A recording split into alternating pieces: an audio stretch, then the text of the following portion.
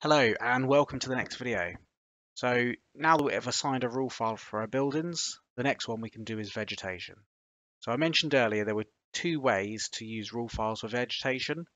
One of them was to set the rule file for a polygon of vegetation, such as a forested area or a small copse of woods or something like that.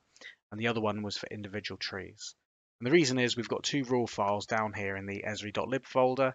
So under rules, under plants, we've got a plant distributor and a plant loader.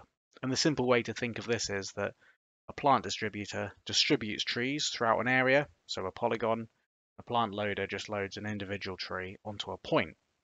Now, if we quickly look back at our data, we'll see that we've got these polygons for um, what we're going to represent as a forest, and then we've got these individual points. Now, I've loaded all my data into CityEngine.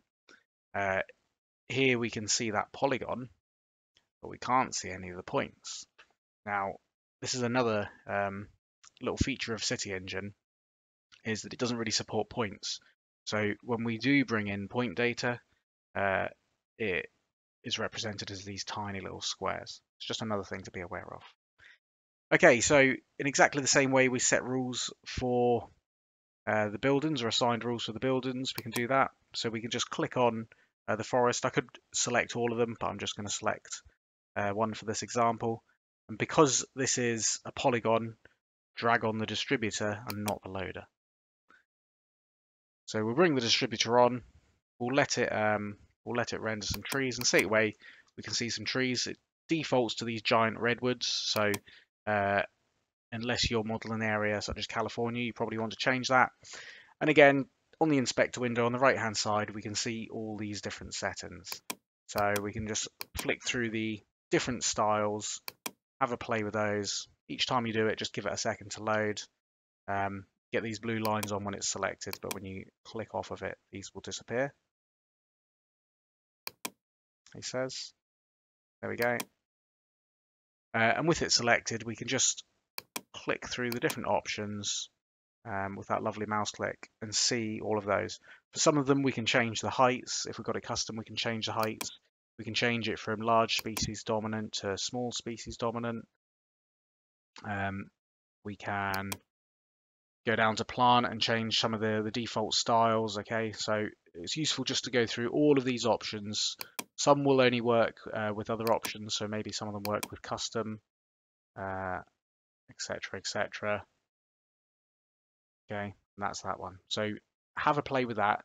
Get it as good as you can for your area. Again, it doesn't have to represent the, you know, the, the real world 100%. They're just representative. Oh, what one, one was going to mention? Here we go. Uh, so these are the realistic trees. We can also set them to schematics um, or fans. So again, that's probably going to, depending on your graphic card settings or how powerful your system is, uh, you might want to have a play with that as well. See how they render on your system. So that was for an area. And then for single points, I'll just go ahead and uh, select these. So that's all of those selected, so they appear now. We can oh, we'll assign a rule file. So up here, this is the third way to do it. We can go rule file, assign, and I can just navigate to my esri.lib folder, go to rules, plants, and then plant loader. I think the default one is always an orange tree, so we'll give that a second to load.